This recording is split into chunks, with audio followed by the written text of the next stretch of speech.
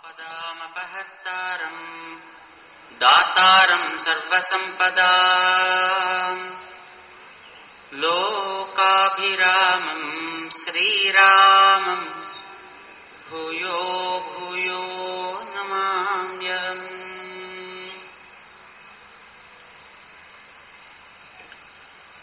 प्रिय भगवद्बन्धुलरे ఒకసారి భగవాన్ నామ సంకీర్తన చేసుకుంటూ మన కార్యక్రమాన్ని ఆరంభం చేసుకుందాం.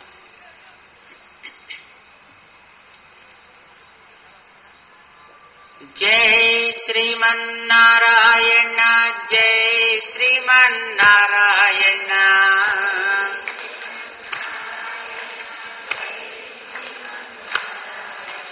जय श्रीमन्नारायण जय जय जय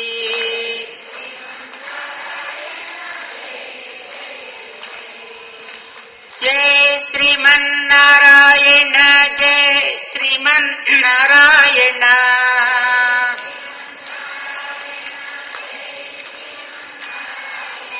जय श्रीमारायण जय जय जय।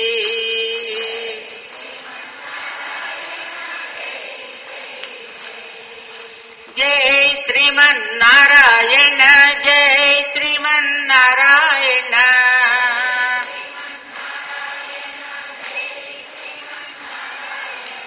जय श्रीमारायण जय जय जय।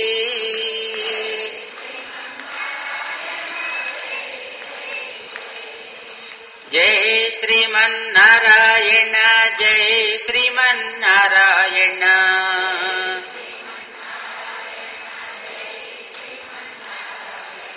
जय श्रीमन्नारायण जय जय जय।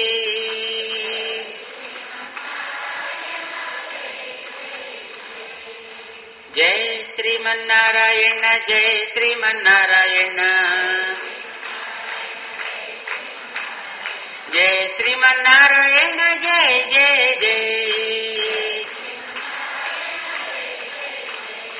जय श्रीमन्नारायण जय श्रीमन्नारायण। जय श्रीमन्नारायण जय जय जय। जय श्रीमन्नारायण, जय जय जय। जय श्रीमन्नारायण, जय जय जय। बोल लक्ष्मी नारायण भगवान की। सीता रामचंद्र महाराज की। पवन सुत हनुमान की। समस्त सज्जन वृंद की జై శ్రీమన్నారాయణ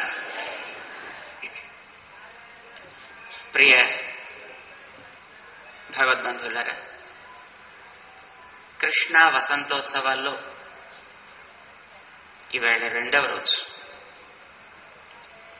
తారణనామ సంవత్సరాన్ని ఆరంభం చేసుకుని నిన్న ఈ ఉత్సవాల్ని మనం ఆరంభం చేసుకున్నాం మనం మానవులం. మానవుడిగా జీవించగలగాలి. ఎంత కాలం గడిచినా ఎన్ని యుగాలు మారినా భౌతికమైనటువంటి పరిస్థితులు ఎన్ని పరివర్తన చెందిన మనిషి మనిషే. అద్దం మీద చక్కగా మన ముఖాన్ని చూపించే శక్తి ఉండాలి అనంటే అప్పుడప్పుడు పడే ధూళిని మనం తుడుచుకుంటూ ఉంటామే. ఒంటి మీద మాలిన్యం లేకుండా ఉండాలి అనంటే రోజుకి ఒకసారైనా కనీసం మన స్నానం చేస్తామే. కొందరైతే రెండు సార్లు మరికొందరు త్రిశవణ స్నానం లాంటివి చేస్తూ ఉంటారట. అంటే మూడు సార్లు మూడు సంధ్యల్లోనూ స్నానాలు ఆచరించాలి అనేది ఒక నియమం. తన యొక్క దేహాన్ని శుభ్రంగా ఉంచుకోవడం కోసం స్నానాదులు ఒకరోజు చేసేసాం కదా అని మనం మానివేయం. ఒక పూట ఆహారం తిన్నాం కదా కడుపు నిండిపోయింది ఇంకెందుకు? అని మరుసటి పూట ఆహారం తీసుకోవడం మనం మానేయం. ప్రతి పూట ఆకలి వేస్తూనే ఉంటుంది. ప్రతి పూట ఆహారం మనం స్వీకరిస్తూనే ఉంటాం. ప్రతి పూట దేహంలో ఉండేటటువంటి కొన్ని రకాల మాలిన్యాలు వెలువడుతూనే ఉంటాయి. వాటి యొక్క నిర్మూలన ద్వారా మన దేహాన్ని ఆరోగ్యంగా ఉంచుకోవడం కోసం మనం ప్రతి పూట ప్రయత్నం చేస్తూనే ఉంటాం. మనస్సుని కూడా అలాగా పరిశుద్ధంగా ఉంచుకోవడం అనేది మన అవసరాల్లో ఒకటి. కారణం మనిషికి ప్రధానమైనటువంటి యోగ్యతని కలిగించేది మనస్సే.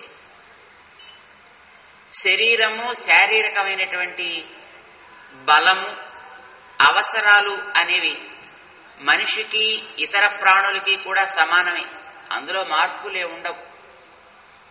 ఏదో కొంత ఆర్జించాలి దాన్ని అనుభవించాలి కొంత విశ్రమించాలి. తీసుకున్నది సక్రమంగా వంట పట్టడానికి కొంత పరిశ్రమించాలి. ఇది ప్రతి ప్రాణి చేసేటటువంటి కార్యమే. కానీ మిగతా ప్రాణుల కంటే మానవుడికుండే ఒక వైలక్షణ్యం మనస్సుని సవ్యంగా వాడుకోవడం వల్ల నిరూపించుకోవాలి. మనస్సుని పట్టే మానవుడు తన యొక్క గొప్పతనాన్ని ఈ ప్రపంచంలో మిగతా ప్రాణుల కంటే చాలా అధికమైనది అని నిరూపించుకోగలిగాడు. ఆ మనస్సు మనకి ఎక్కడుంటుందో తెలియదు. అది ఎట్లా పనిచేస్తుందో తెలియదు కానీ మనందరికీ మనస్సు అనే ఒక పరికరం ఉంది. మనకి ఈ శరీరాన్ని ఉపయోగించుకోవడానికి ఉండేటటువంటి ఇంద్రియాలకి మధ్యవర్తిగా ఉంటుందిట ఆ మనస్సు. దీనికి దానికి అది ఒక లింక్ ఏర్పరుస్తుందట. మన శరీరం ఒక ఎనాటమీ చెప్పేవాళ్ళు. చిన్న మెదడు అని అంటూ ఉంటారు మన తలలో ఉండేటటువంటిది. అది శరీరానికి ఇతరమైనటువంటి అవయవాలకి మధ్య ఒక సమన్వయకర్తగా ఉండి పెద్ద మెదడు ఇచ్చే ఆజ్ఞని స్వీకరించి సవ్యంగా చెయ్యి ఇలా లే అంటే ఇలా లేవాలి. కన్నుని ఇలా చూడు అంటే ఇలాగే చూడాలి.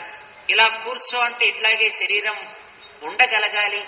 అంటే ఆ చిన్న మెదడు కోఆర్డినేట్ చేస్తూ ఉంటుందట. ఇది శరీరపు లెవెల్లో. కానీ మన ఈ లోపల ఉండేటటువంటి మెకానిజం గురించి చెబుతూ ఈ పైన కనిపించే శరీరంలో ఉండే ఈ భాగాలు పనిచేయడానికి లోపల ఇంద్రియాలు ఉంటాయి అయితే అవి మనకు కనిపించవు. ఎంత సూక్ష్మమైనవో మనకి తెలియదు అతి సూక్ష్మాంశాలని పరిశీలించడానికి వైజ్ఞానికులు కనిపెట్టినటువంటి పరికరాలకు కూడా అందరంత సూక్ష్మ స్వరూపం కలిగినవి అవి అని మనకి తెలుస్తుంది. కన్ను పనిచేస్తోందంటే కంటికి వెనకాతల కారణం ఒక ఇంద్రియం అంటాం దాన్ని చక్షురింద్రియం అంటాం. చెవి ఈ పైన కనిపించేటటువంటి ఈ భాగం పనిచేస్తోందంటే దీనికి వెనక ఉండే శ్రవణ ఇంద్రియం అని అంటాం దాన్ని. ఆ ఇంద్రియాలే చాలా సూక్ష్మమైనవి వాటికంటే సూక్ష్మతరమైనది.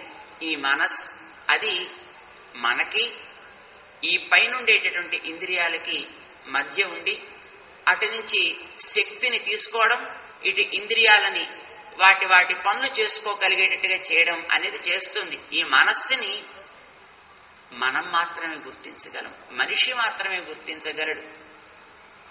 అందుకోసమనే మానవుడంటే ఏమిటి అనే ఒక నిర్వచనాన్ని యాస్క మహర్షి ఇస్తూ మత్వా కర్మాణి సీవ్యతి అని చెప్పాడట. మత్వా అంటే ఆ మనస్సుని వాడి తనకి కలిగినటువంటి అనుభవాలని గుర్తించి తన చుట్టూ ఉండేటటువంటి పరిసరాలని గుర్తించి తన యొక్క శక్తిని స్థాయిని దృష్టిలో పెట్టుకుని ఎవడైతే తనకి తన తోటి సమాజానికి ఇబ్బందికరం కాకుండా తన యొక్క వృత్తిని తన పనులని ఈ సమాజంలో అల్లుకుంటూ వెళ్ళగలుగుతాడో వాడు మనిషి. కేవలం రెండు కాళ్ళతో నడిచిన ప్రతి వాణ్ణి మనం మనిషి అని అనం. నడిచే ప్రతి వస్తువుని కూడా ఇది ప్రతి జంతువుని మనం ఆవు అనం కదా. దానికి ఒక గంగడోల్లాంటి పరికరం ఉంటే మెడ క్రింద వేలాడుతూ ఉండేటటువంటి ఒక స్కిన్. ఓ ఇది ఆవు అని మనం అంటాం. దానికి అది ఒక అసాధారణమైనటువంటి ఒక గుర్తు ఒక చిహ్నం. అలానే ఒక ప్రాణిని మనం మనిషి అని అనగలగాలి అని అంటే దానికి కూడా చేసేటటువంటి ఆ పనులకి వెనకాతల మనస్సు యొక్క సహకారం ఉండాలి. ఆ మనస్ సహకారంతో చేసే పని మననము అని అంటాం. ఆ మననం వల్లనే మనిషికి ఒక శ్రైష్ఠ్యం ఏర్పడుతుంది ఒక గొప్పతనం ఏర్పడుతుంది. అయితే ఆ మననాన్ని ఎట్లా చేస్తాం మనం? అంటే దానికి కొన్ని లెవెల్స్ ఉన్నాయి. మొదట మన శరీరం బాగుండాలి. శరీరం బాగాలేకపోతే ఏ పని మనం చేయలేం. చాలా గొప్ప భక్తుడే అయినప్పటికీ శరీరం దుఃఖపడుతూ నీరసంతో ఉందనుకోండి వాడు ఏ పని చేయలేడు వాడు దేవుడి దగ్గర కూర్చోలేడు దేవుడు నామని చెప్పలేడు ధ్యానం అంతకంటే చేయలేడు. అంచేత శరీరం ఆద్యం కలు ధర్మ సాధనం అని మన వాళ్ళు ఆయన శరీరాన్ని జాగ్రత్తగా చూసుకో. శరీరాన్ని జాగ్రత్తగా చూసుకోవడానికి చేయాల్సిన ఆలోచన ఏమి? దానికోసం చేయాల్సిన మననము ఏమి? అంటే ఏది తీసుకోదగును ఏది తీసుకోదగదు ఎంత తీసుకోదగును? ఎంత తీసుకోతగదు?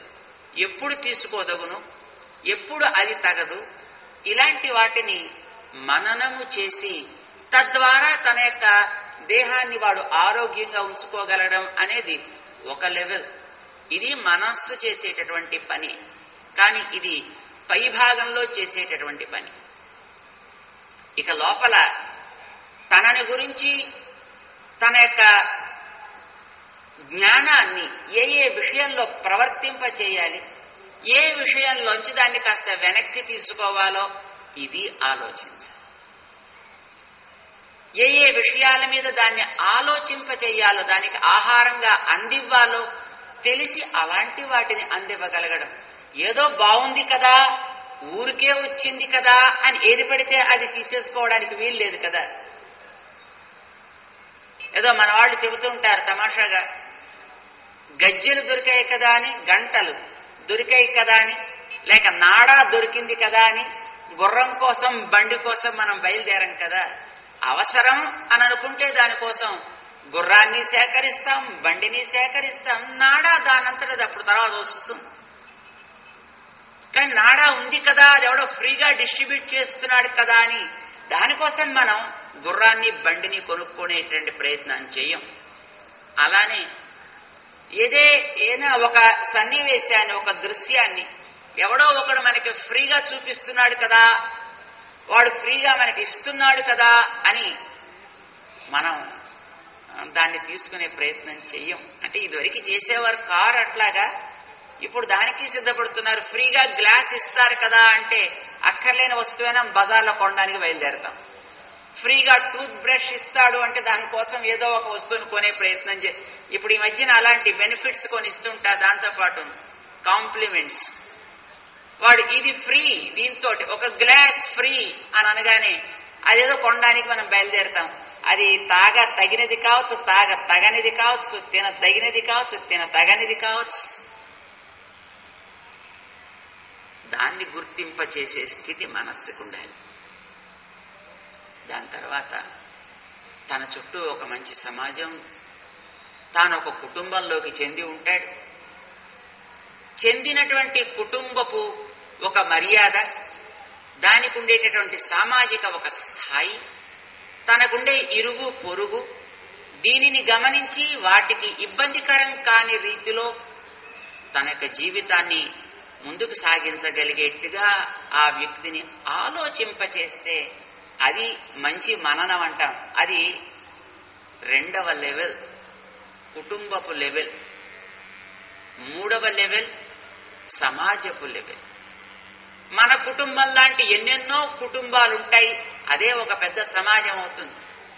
అయితే ఆ కుటుంబాల్లో కేవలం మనుషులొక్కళ్ళు మాత్రమే ఉండరు. జంతు కుటుంబాలు ఉంటాయి దుష్ట కుటుంబాలు ఉంటాయి రాక్షస కుటుంబాలు ఉంటాయి ఆటవిక కుటుంబాలుంటాయి జంతు కుటుంబాలు ఉంటాయి క్రిమి కీటాది కుటుంబాలు ఉంటాయి వృక్షాది కుటుంబాలు ఉంటాయి మరి వాటిని కూడా మనం జాగ్రత్తగా ఉంచగలగాలి కదా?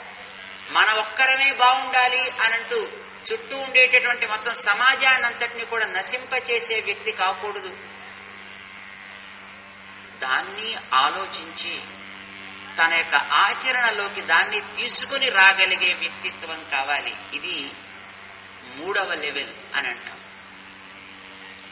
ఇది దాటితే మనం చూసే ఈ చిత్ర విచిత్రమైనటువంటి విశ్వానికి వెనకాతల దీన్ని నడిపించేటటువంటి ఒక అద్భుత శక్తి. అదేమిటో మన కంటికి కనిపించదు. కానీ ప్రతి అణు అణువునా నిండి ఉంటుంది. కనుక దానికి దైవం అని పేరు పెట్టారు.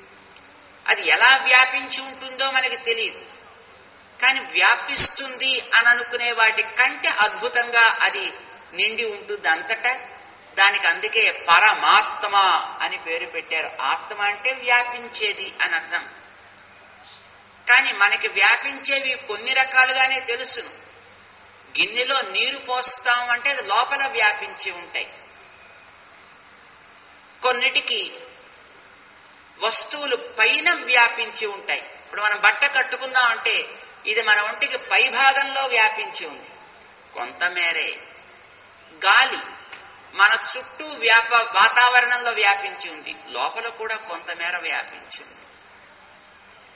ఆకాశం అది కొంతమేర కొన్ని రకాలుగా వ్యాపించి ఉంది. ఇలాంటి వ్యాపించిన వస్తువుల అన్నిటికంటే అద్భుతంగా వ్యాపించేటటువంటి శక్తి కలిగి ఉంటుంది. కనుక ఎన్నిటినీ నిర్వహిస్తోంది నడిపిస్తోంది కనుక దానికి పరమాత్మ అని పేరు పెట్టారు. పరమాత్మ అనేది ఒక మనిషి కాడు. పరమాత్మ అనేటటువంటిది రెండు కాళ్ళు రెండు చేతులు ఒక తల లేకపోతే వెయ్యి తలలు వెయ్యి చేతులు వెయ్యి కాళ్ళు కలిగినది మాత్రమే కాదు. అది మన బుద్ధికి ఇలా ఉంటుంది అని వివరించి చెప్పడానికి చేతకానిది అంతలా ఉంటుంది. అది లేకపోతే మనమే లేవు. అందుకే దానిని గురించి కూడా నువ్వు కొంచెం ఆలోచించు. దానికి విరుద్ధం కానట్టుగా నీ యొక్క ప్రవృత్తిని నీ యొక్క కర్మని ఆచరించడం ప్రారంభించు. కర్మ అనే సీవ్యతి మత్వా. అంచేత ఇప్పుడు ఈ మత్వా మననము చేసి ఆలోచన చేసి అనుభవాలని జోడించి దాన్ని ఆచరణలోకి నువ్వు తీసుకుని రాగలిగితే మనిషివి. అయితే ఈ అనుభవాలంటే ఎవరివి? నీ ఒక్కడివేనా? మన వయస్సు మన అనుభవాలు వాటిని మనం గుర్తించగలిగే వయస్సు ఎంత? మహా అయితే ఒక్కొక్కరికి ఎనభై ఏళ్ళుంటాయి తొంభై ఏళ్ళుంటాయి నూట పాతికేళ్ళు ఉండొచ్చు నూట యాభై ఏళ్ళు ఉండొచ్చు ఎవరు నూట యాభై దాటి ఉన్నట్టుగా మనకి ఇప్పుడు ప్రస్తుతం రికార్డ్స్లో లేదు. ఆ మధ్యన ఎప్పుడు నూట ఇరవై నాలుగేళ్ళు దాటినటువంటి ఎవరో ఒక ఆయన ఒక ఆవిడో పాపం చనిపోయారట. వాళ్ళే ఇప్పటికి ఉన్న వాళ్ళలో అతి ఎక్కువ వయస్సు కలిగిన వాళ్ళు అని ఆవిడ పేపర్లో రాశారు. సరే వాళ్ళు రాసినంత వరకు అది. కానీ మనకి హిమాలయాల్లోకి వెడితే అంతకంటే ఇంకా ఎక్కువ వయసు ఉండేవాళ్ళు ఉంటారుట. ఈ కాలంలో ఆ మధ్యన గంగా నదిలో ఒక మహానుభావుడు ఉండేవాడు. ఆయన దగ్గరికి మన పాత ప్రైమ్ మినిస్టర్ గారుగా ఉన్నటువంటి ఒక మహానుభావుడు రాజీవ్ గాంధీ గారు కూడా వెళ్ళారు దేవర్యాహ్ బాబా అని అంటూ ఉండేవారే. నైన్టీన్ ఎయిటీస్లోనే ఆయన దేహయాత్రని చాలించారు. ఎప్పుడు గంగా నదిలోనే ఉండేవాట ఒక మంచి కట్టుకునే మహానుభావుడు. ఎంతమంది వెళ్ళినా ఆయన కాలు ఇలా చాపుతాటంటే అక్కడ వాళ్ళ తల ఆనించి వెళ్ళిపోతూ ఉండడమే. మా గోపాలాచార్య స్వామి వారు భగవద్ విషయం అనే గ్రంథాన్ని హిందీలోకి అనువాదం చేస్తే చాలా మంచి పుస్తకాన్ని మీరు వేస్తున్నారండి. దానికి మేము స్పాన్సర్ చేయిస్తాం అంటూ వారు ఆ పుస్తకాన్ని ముద్రింప చేయించారు కూడా. అంటే ఈ మధ్య దాకా ఉన్నారన్నమాట. అందుకోసం కానీ ఆ మహానుభావుడి వయస్సు సుమారు మూడు వందల సంవత్సరాల పైన అంటారు. ఎందుకంటే ఇప్పుడు మా గోపాలాచార్య స్వామి ఈ మధ్యన పరంపదించారు. తొంభై ఆరవ సంవత్సరంలో అప్పటికి వారి వయస్సు తొంభై ఏడేళ్ళు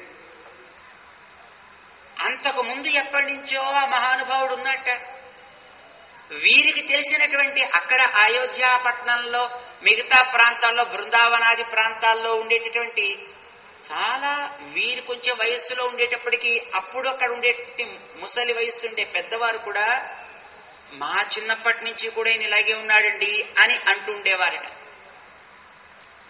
సో మూడు వందలు ప్లస్ ఆయన వయస్సు. ఇప్పటికి కూడా హిమాలయాల్లో బదరికాశ్రమ లాంటి ప్రాంతాల్లోకి వెడితే కొంతమంది ఇప్పుడుండే వృద్ధులు వాళ్ళ చిన్న వయస్సులో ఉండే వాళ్ళ పెద్దలు వృద్ధులు చెబుతుండేవారట ఈయన అప్పుడు ఇలాగే తిరుగుతుండేవాడే ఓ ఆయన గోను పట్టా పెట్టుకుని తిరుగుతూ ఉంటాడు ఇటు అటు అప్పుడప్పుడు కనిపిస్తాడు ఎప్పుడు కనిపించట మహానుభావుడు. ఐదారు వందల సంవత్సరాల వయసు ఉండొచ్చు. ఇప్పుడు మన కాలంలో కానీ కొంచెం మనం వెనక్కి వెడితే మనం ఇప్పుడు అనుసంధానం చేసుకునే శ్రీరామాయణ గ్రంథాన్ని మనం గమనిస్తేనే రామచంద్రుడు పదకొండు వేల సంవత్సరాలు దశవర్ష సహస్రాణి. దశ వర్ష శతానిచ నేనుంటాను. ఈ పదకొండు వేల సంవత్సరాలు అట్లా వస్తా అని తానే చెప్పి అవతరించినట్టుగా మనకి వాల్మీకి భగవానుడు చెప్తున్నాడు. తర్వాత బ్రహ్మదేవుడు కూడా అట్లానే చెప్పినట్టుగా మనకి రామాయణం చెబుతోంది. వాళ్ళ నాన్నగారి దగ్గరికి వెడితే ఆయన అరవై వేల సంవత్సరాల పైన జీవించి ఉన్నట్టుగా మనకి తెలుస్తోంది. ఇంకొంచెం మనం వెనక్కి గమనిస్తే ప్రియవ్రతుడు అని ఒక మహానుభావుడు ఉండేవాట. ఆ మహానుభావుడు రెండు కోట్ల సంవత్సరాల కాలం జీవిస్తాడు అని మనకి భాగవతం చెబుతోంది. రెండు కోట్ల సంవత్సరాలు. అయినా రెండు కోట్ల సంవత్సరాలు కాదు రెండు వందల కోట్ల సంవత్సరాలైనా ఈ జీవనం అనేటటువంటి మహాప్రవాహంలో అది కేవలం ఒక ఇసుక రేణు అంత మాత్రమే. ఈ కాస్త సమయంలో గడించిన అనుభవాలనే మనం ఓ ఇదే శాశ్వత సత్యం అని స్వీకరించగలమా? అంటే మన అనుభవాలు ఎప్పుడు కూడా చాలా పరిమితములై ఉంటాయి. అవధి కలిగి ఉంటాయి. మన అనుభవాన్ని కాదు అని అనాల్సిన అవసరం ఏం లేదు. ఇప్పుడు మనం ఒక నిప్పుని ముట్టుకుంటే కాలుతోంది ఒక ఐసు గడ్డని ముట్టుకుంటే చల్లగా ఉంటోంది నీటిని ముట్టుకుంటే తడుస్తోంది నూనెను ముట్టుకుంటే జిడ్డుగా అంటుకుంటోంది ఇది మనకే తెలిసినటువంటి వాస్తవాలు కనుక వీటిని మనమేం కాదు అని అనం. కానీ నీటిని ముట్టుకుంటే అంటుకోకుండా ఉండగలిగే మెజర్స్ కూడా ఉన్నాయి. నిప్పుని ముట్టుకుంటే కాలకుండా ఉండేట్టుగా కూడా వసతులున్నాయి. చంద్రకాంతమణి అని అంటుంటారు మనవాళ్ళు. మన వాళ్ళు అది చేత పూని మన నిప్పుని స్పృశించిన ఆ నిప్పు కాలదట. నీటిని తడవకుండా నిప్పుని కాల్చకుండా చేసేటటువంటి సాధనాలు కూడా కొన్ని ఉన్నాయి మన అనుభవంలో అవి లేకపోవచ్చు. కనుక అనుభవించిన దానిని మననం చెయ్యాలి అని అంటే అసలు మనం అనుభవించేదే చాలా తక్కువైనప్పుడు. ఆ అనుభవించిన దాన్ని మనం స్మరించగలగడం మరీ తక్కువైనప్పుడు. మన అనుభవాన్ని మాత్రమే మనం ప్రమాణము. అదే దానికి ఏదో ఒక మార్జిన్ అని మనం తీసుకోకూడదు. గతంలో అనుభవించి ఉండే పెద్దల యొక్క అనుభవాన్ని కూడా మనం స్వీకరిస్తాం. లౌకికంగా మనం గమనిస్తే ఏదైనా ఒక వైజ్ఞానికమైన పరిశోధనలు చేసేవాళ్ళు. ఒక మహానుభావుడు ఓ నలభై ఏళ్ళు యాభై ఏళ్ళు పరిశోధన చేసి కొన్ని రికార్డ్స్ తయారు చేసి పెడితే ఆ తర్వాత వచ్చే వైజ్ఞానికులు ఆ పూర్వ వ్యక్తి చెప్పినటువంటి దాన్ని ఆధారం చేసుకుని దాని మీద మరికొన్ని పరిశోధనలు సాగిస్తాడు. ఆ పూర్వం చెప్పిన వ్యక్తిని మనం ఆచార్యుడు అందాం. పూర్వాచార్యుడు చెప్పిన దాన్ని ఒక పునాదిగా పెట్టుకుని దాని మించి మరి కొత్త పరిశోధనలు చేయడానికి ఆయన ముందుకు వెడతాడు. ఈవేళ మనం గమనించేటటువంటి సైన్స్ అని చెప్పుకుంటున్నదంతా అలా వచ్చిందే. పాత వ్యక్తులు చెప్పిన వాటిని అబ్బెబ్బే ఎంత పాత చింతకాయ పచ్చడండి మాకు ఇలాంటివన్నీ అక్కర్లేదు మేము నమ్మము అని ఎవ్వరూ అనరు. మీ అందరికీ తెలుసును రైట్ సోదరులు అని ఉండేవారట. వాళ్ళ చేతులకి ఈకలు కట్టుకుని పక్షి ఈకలు రెక్కల్లాగా పెద్ద పెద్దవి కొండ మీదకెక్కి ఎగిరి పక్షులు ఎగిరినట్టు మనం కూడా ఎందుకు ఎగరలేము అనే ఆలోచనతోటి కొన్ని ప్రయోగాలు చేసి మొదట కాస్త చేతులు కాళ్ళు ఒళ్ళు ఎముకలు విరగొట్టుకున్నారు కానీ అప్పుడు వారు గడించినటువంటి ఆ అనుభవాల సారంగానే ఒక్కొక్కరు ఒక్కొక్కరు తమ తమ కర్మలని తమ తమ ఆచరణని కూడా జోడించి జోడించి ఈ శబ్దం కంటే వేగంగా ఆకాశంలో ఎగరగలిగే విమానాల్ని తయారు చేశారు. కాంతి వేగంతో సమానంగా దూసుకుపోగలిగేటటువంటి పరికరాల్ని తయారు చేస్తున్నారు పెద్ద పెద్ద మిజైల్స్ లాంటి వాటిని. ఇవన్నీ ఎట్లా సాధ్యమయ్యాయంటే పూర్వపు వ్యక్తుల యొక్క అనుభవాల్ని మేము గణనలోకి తీసుకోము అని అనడానికి వీల్లేదు. పూర్వం చేసిన వాళ్ళ యొక్క ఆచరణ మనకి ఆదర్శం అయితే వాళ్ళని మనం ఆచార్యులు అని అంటాం. చేత పూర్వాచార్యుల అనుభవాన్ని మనం మన అనుభవం దాకా తెచ్చుకుని అప్పుడు జీవితంలో ఆచరించేటటువంటి ప్రయత్నం చేస్తాం. ఇది శరీర స్థాయిలోనైనా కుటుంబ స్థాయిలోనైనా సమాజ స్థాయిలోనైనా లేక దైవమని మనం చెప్పే స్థాయిలోనైనా ఈ పూర్వాచార్యుల అనుభవాన్ని కూడా మనం తీసుకుని అప్పుడు దానికి తగినట్టుగా ఆచరించగలగడం అనేది అవసరం. అలా చేసేవాడినే మనిషి అని అంటారు. అలా చేసే ప్రాక్టీసెస్కే ధర్మాలు అని పేరు. ధర్మాలు అనంటే అదేదో రిలీజియస్ యాక్టివిటీ అనండి అదేదో మతానికి సంబంధించింది అని చాలా మందికి అభిప్రాయం. ఈ మధ్యన ఏదో ఒక చర్చ వచ్చింది. ఏదో ధర్మ రక్షణ పరిషత్ ధర్మ ప్రచార పరిషత్ అని ఏదో ఒకటి ఉంది. ఒక పెద్ద సంస్థకి. అబ్బాయి ఈ ధర్మ ప్రచారం అంటే ఏం తెలుస్తుందండి? అసలు ఇదేమిటో ఎవరికి అర్థం కాదు కనుక దీనికి పేరు హిందూ ధర్మ ప్రచార పరిషత్ అని మనం పెట్టాలి అని ముందర చేరుస్తాము అన్నారు. మా దగ్గరికి వచ్చి అడిగారు ఏమండి ఇలా ఎందుకు మనం చేర్చకూడదు? చేర్చకపోతే ఎట్లా తెలుస్తుంది అందరికీ నేను? మేమన్నాం నాయన అసలు ధర్మం అని అంటేనే పూర్వాచార్యుల యొక్క అనుభవాన్ని ఆధారం చేసుకుని ప్రవర్తించే ఆచరణ అని అర్థమయ్యా. అది ఉన్నది మనకి వేదాల ద్వారాను ఇతిహాసాల ద్వారా పురాణాల ద్వారా మనకి అందుతోంది తప్ప మరొక దాని ద్వారా కాదు.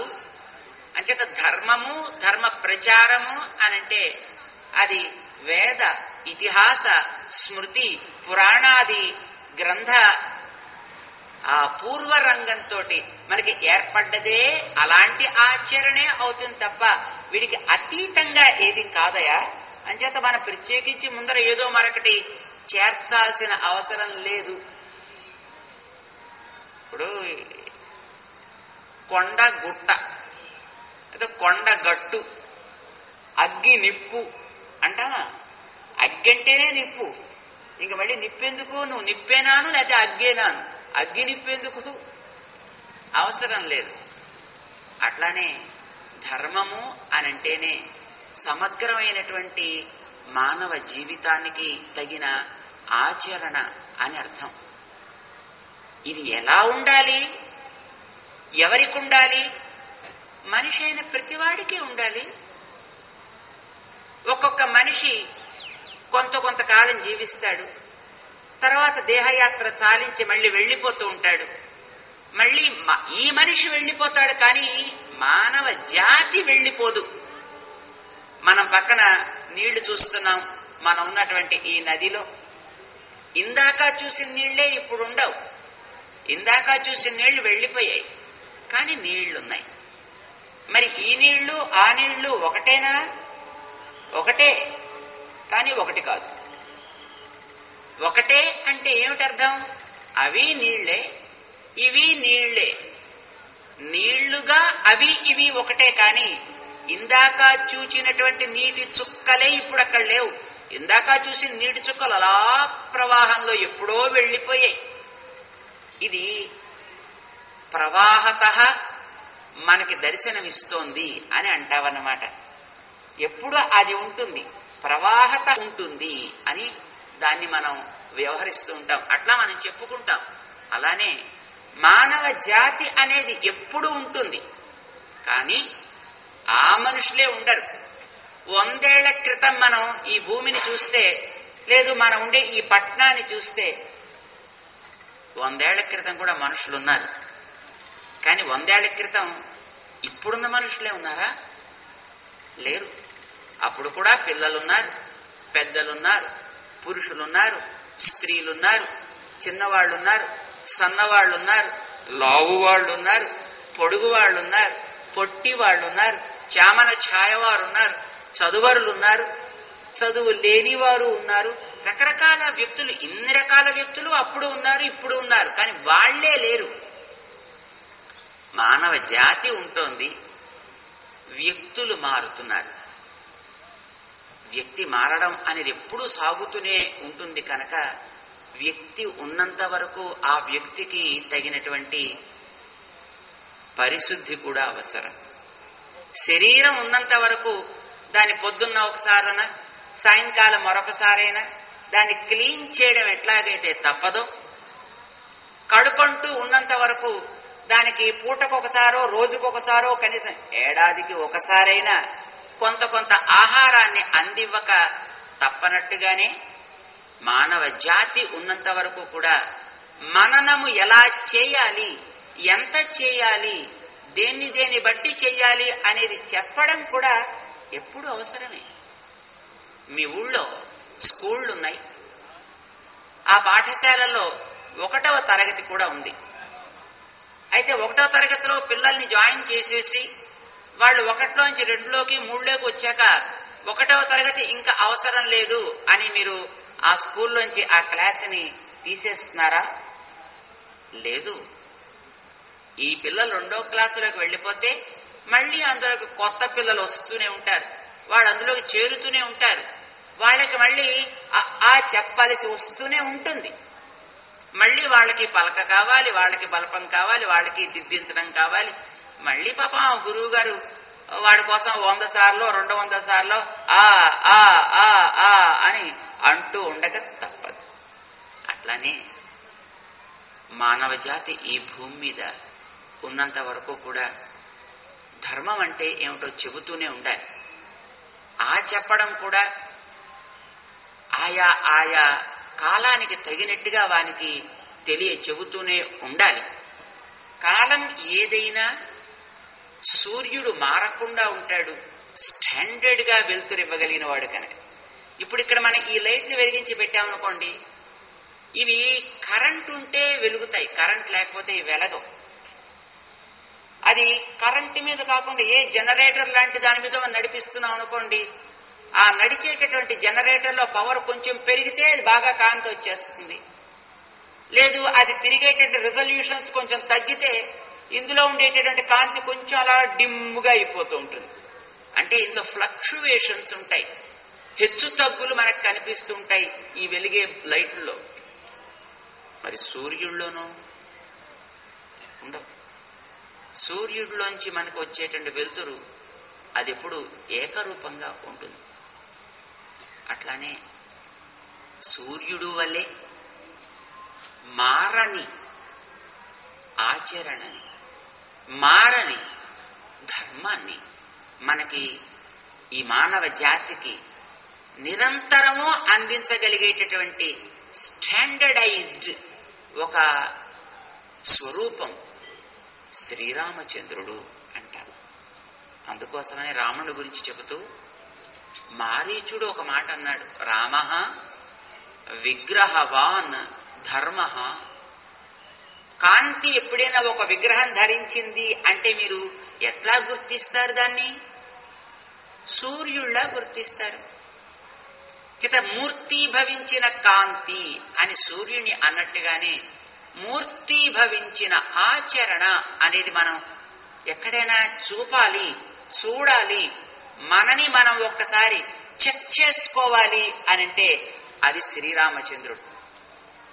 అందుకే ఆయన సూర్య వంశంలో అవతరించాడు. ఆయన ఆదిత్య వంశంలోంచి వచ్చాడు. శ్రీరామచంద్రుడు కొన్ని యుగాల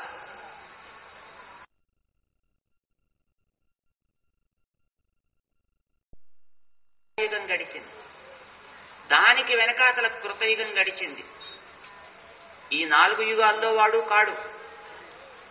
ఇలాంటి నాలుగు అంతకు ముందు కూడా మరొక సైకిల్ గడిచింది. దానికి ముందర మరొక సైకిల్ గడిచింది. దానికి వెనక ఉండే సైకిల్లో వచ్చిన త్రేతాయుగపు నాటి వాడని మనకి మన గ్రంథాలు చెప్తున్నాయి. అంటే ఒక నాలుగు యుగాలు కలిపితే నలభై మూడు లక్షల ఇరవై వేల సంవత్సరాలు అవుతాయి.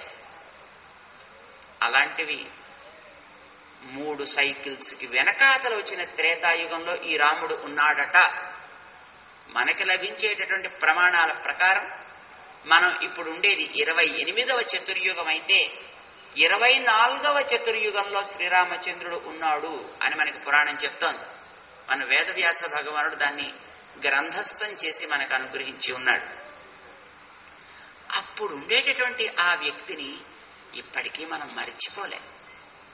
ఇప్పటికే కాదు ఎప్పటికీ మరిచిపోం. అర్థం ఎంతకాలం దాకా మీకు అవసరం? ఎంతకాలానికి అద్దం పాత పడుతుంది? మనం కార్లు కొనుక్కుంటున్నాం. పంతొమ్మిది వందల అరవైలో ఒక అంబాసిడర్ ఉండేది. అరవై నాలుగు వచ్చేటప్పటికీ అది ఓల్డ్ మోడల్ అయిపోయింది. ఒకసారి మారుతి కారు ఉండేది ఎయిటీస్లో ఇప్పుడు అది పాత పడిపోయింది. ఇప్పుడు కొత్త కొత్త మోడల్స్ వచ్చేసాయి. అంటే ఒకనాడు తయారు చేసినటువంటి ఒక మోడల్ మరి కొంతకాలం తర్వాత అది మోడల్గా చెల్లుబాటు కాదు. That becomes an old outdated fashion అయిపోతుంది. ఇప్పుడు మన కంప్యూటర్లు వాడే వాళ్ళందరికీ తెలుసును. పంతొమ్మిది వందల ఎనభై నాలుగు ఎనభై ఐదు సంవత్సరాల్లో అప్పుడుండేటటువంటి కంప్యూటర్స్ అబ్బో ఎంత కొత్త ఎంత బాగా పనిచేస్తున్నాయి. రూమ్ అంతా ఉండేటటువంటి కంప్యూటర్ ఇంత చిన్న పరికరాలలోకి వచ్చేసిందే. అబ్బా అబ్బా అని అనుకునేవారు. ఇప్పుడు అది మారి మారి మారి ఇంత చిన్న రిస్ట్ వాచ్లోకి వచ్చింది. అప్పట్లో అది టూ ఎయిటీ సిక్స్ ఎంబీ ఉంటుందండి అని అంటే అయ్య బాబోయ్ అంతదా? అనేవారు. ఇప్పుడు టూ ఎయిటీ సిక్స్ ఎంబీ కాదు. దాన్ని ఇప్పుడు ఎంబీ పోయి అది గిగా బైట్స్ దాటి టెర్రా బైట్స్ దాటి ఇంకో ఏవో బైట్స్ దాటిపోయి అవి ఏం బైట్సో తెలియకుండా అయిపోయే స్థితిలోకి వచ్చేసి అంతది ఇంత దాంట్లోకి వచ్చేట్టుగా మారిపోతున్నాయి. అంటే ఈ వేల్టిది రేపటికి పాతబడుతోంది నిన్నటిది ఇవ్వేల్టికి పాతపడుతోంది. ఈ పాతబడ్డం అనేది బయట వస్తువుల్లోనే కాదు. ఈ పాతబడటం అనేటటువంటిది సైన్స్ అని ఈవేళ మనం అనుకునే వైజ్ఞానిక సిద్ధాంతాల్లో కూడా పాతబడుతున్నాయి కానీ రాముడు పాతబడలేదు ఇన్ని కోట్ల సంవత్సరాలు గడవటానికి ముందున్నప్పటికీ కూడా ఆ వ్యక్తి యొక్క మాట ఆ వ్యక్తి యొక్క కదలిక ఆ వ్యక్తి యొక్క ఆచరణ ఇవాల్టికి కూడా స్టాండ్స్ ఫ్రెష్ దానికి పాతబడ్డం అనేది లేదు. అది ఎప్పుడూ అలానే ఉంటుంది. గాలి ఎప్పటికి పాతబడుతుంది మీకు? ఇప్పుడు మనం పీల్చే గాలే. దాని యుగ యుగాలుగా పీలుస్తూనే ఉన్నారు. నీళ్ళు ఎప్పటికి పాతబడతాయి? ఇప్పుడు మనం త్రాగే నీళ్ళే యుగాల క్రితం వ్యక్తులు త్రాగారు. ఆకాశం ఎప్పటికి పాతబడుతుంది? కొన్ని కోట్ల యుగాలకి ముందు ముందు నుంచి ఇదే ఆకాశాన్ని మనం గమనిస్తున్నాం. అవి పాతబట్టం లేదు. అలానే పాతబడని మారని ఒక ప్రామాణికమైనటువంటి ఆచరణ ఆచరణకి ఆచారానికి గుర్తు శ్రీరామచంద్రుడు. అందుకోసమనే ఆ మహానుభావుణ్ణి నడిచే ధర్మము రామో విగ్రహవాన్ ధర్మ అని మనుష్యులే కాదు రాక్షసులు కూడా సంభావించగలిగారు. ఆ వ్యక్తి యొక్క చరితని మనకి వాల్మీకి భగవానుడు ప్రసాదించాడు. ఒక మనిషి ఎదురుకుండా కనిపించే జీవితం ఒకటైతే ఆ కనిపించే జీవితానికి ఎన్నో కోణాలుంటాయి. అందులో ఎన్నో పొరలుంటాయి. పై పొర వెనక పొర ఆ లోపలి పొర ఇట్లాగే జీవితంలో ఎన్నో ఉంటాయి. అన్ని పొరలని స్పృశించగలిగేటటువంటి ఆచరణ కలిగిన ఒక ఆదర్శవంతమైనటువంటి జీవితాన్ని ఎట్లా మనం సాధించాలి? అలాంటి ఒక సాధకుడిగా మన జీవితంలో మనం ఎలా సాగాలి అనేదాన్ని నిరూపించేటటువంటి గ్రంథం శ్రీరామాయణ గ్రంథం. అందులో స్వామి వాల్మీకి భగవానుడు మనకి రామచంద్రుడి యొక్క అద్భుతమైనటువంటి జీవితాన్ని ప్రసాదించాడు. కేవలం రాముడు ఒక్కడే కాదు. రాముడితో పాటు ఉండేటటువంటి అనేక మందిని మనకి ప్రదర్శించాడు దాంట్లో. రామచంద్రుడు అయోధ్యలో ఉంటూ మనుష్యులతోటి సంచరించాడు. అడవికి వెళ్ళి ఋషులతో సంచరించాడు. రాక్షసులతో జంతువులతో పక్షులతో చెట్లు చేమలు వంటి వాటితో రాక్షసులతో అసురులతో మానవుడు ఇంతమందితోటి కలిసే బతకాల్సి వస్తుంది. జీవితంలో మనం కేవలం మంచి వాళ్ళ మధ్యనే ఉంటాం. సాధ్యం కాదు. నా చుట్టూ ఉండే వాళ్ళని మొత్తం అందరినీ మంచిగానే నేను చూడాలి. ఇది సాధ్యం కాదు. ఆ మనుషుల్లో అనేక రకాలకు చెందినటువంటి వ్యక్తులు ఉంటారు. చేత రాక్షసులు ఉంటారు జంతువులు ఉంటారు. అంటే ఆకారం మానవాకారమే కావచ్చు కానీ ప్రవృత్తి. మన పూర్వాచార్యులు అంటారు ఒక చోట భగవన్ నేను ఎట్లా ఉన్నానో చూడవయ్యా. వృత్యా పశు నరవపు. నా ఆకారం చూస్తే మనిషిలాగే కనిపిస్తా కానీ నా యొక్క ఆచరణ చూస్తే ఇది పశువు అనడానికి కూడా కొంచెం సంకోచించాల్సి వచ్చేట్టు ఉంటుంది. ఏం చేస్తాను? నా యొక్క స్థితి ఆ రకంగా ఉంది కనుక నీ పాదములను నేను ఆశ్రయించుకుంటున్నాను. నన్ను మంచిగా తీర్చిదిద్దు అని వారు ఆచార్యులని ప్రార్థన చేస్తూ చెప్పినటువంటి ఒక స్తోత్రం. మనుషులే కానీ కొందరు ఆటవిక ప్రవృత్తి కొందరు పాశవిక ప్రవృత్తి కొందరు ఆసుర ప్రవృత్తి కొందరు రాక్షస ప్రవృత్తి కొందరు ఋషి ప్రవృత్తి కొందరు మానవ ప్రవృత్తి కొందరు దైవిక ప్రవృత్తి ఇన్ని రకాలుగానూ ఉంటాయి. మనం ఒక్కసారి రామాయణం అనే అర్థం ముందర నిలబడితే మన ముఖం ఎక్కడో ఒక చోట తప్పకుండా కనిపించక మానదు అప్పుడప్పుడు మన శూర్పణకలోనైనా కనిపిస్తాం. లేకపోతే హనుమంతుల్లోనైనా కనిపిస్తాం. లేకపోతే ఏ నలుల్లోనో నీళ్ళల్లోనో కనిపిస్తాం. ఏ విభీషణుల్లోనో కనిపిస్తాం. లేదా రావణాసురుల్లో దర్శనమిస్తాం. అడవిలో ఉండే ఋషుల్లోనైనా మనం సాక్షాత్కరిస్తాం. లేదా ఏ దేవతల్లోనో మనం ఒకళ్ళంగా ఇటు అటు కదులుతూ కనిపించవచ్చు రామాయణం ఒక అర్థం. నీకెంతకాలం అవసరం అది? ఎప్పుడెప్పుడు నువ్వు క్లీన్గా ఉండాలనుకుంటావో అప్పుడప్పుడల్లా నీకు అర్థం అవసరమే. ఎప్పుడెప్పుడు నిన్ను నువ్వు సవ్యంగా లోకానికి దర్శింప చేయాలి అని అనుకుంటావో అప్పుడల్లా నీకు అర్థం అవసరమే. లేకపోతే లోకం నిన్ను చూసి భయపడుతుంది పారిపోతుంది. అలా కాకూడదు అంటే నీకు అర్థం అవసరమే ఆ అర్థాన్నే ఆదర్శం అని అంటారు మన వాళ్ళు సంస్కృతంలో ఆదర్శము అంటే అర్థం మనకి ఒక అర్థం కావాలి మనం ఉన్నంత వరకు అర్థం కావాలి. మారేటటువంటి ఈ మానవ జాతికి అర్థం శాశ్వతంగా. ఏ మట్టి ఏ మాపు ఇలాంటి వాటికి దూరంగా ఉండగలిగే రీతిలో జరిగిన చరితని మనకి రికార్డు చేసి దాన్ని వాల్మీకి భగవానుడు అందించిన గ్రంథం శ్రీ రామాయణం అని మన పూర్వ ఆచార్యులు మనకి ప్రసాదించి ఉన్నారు.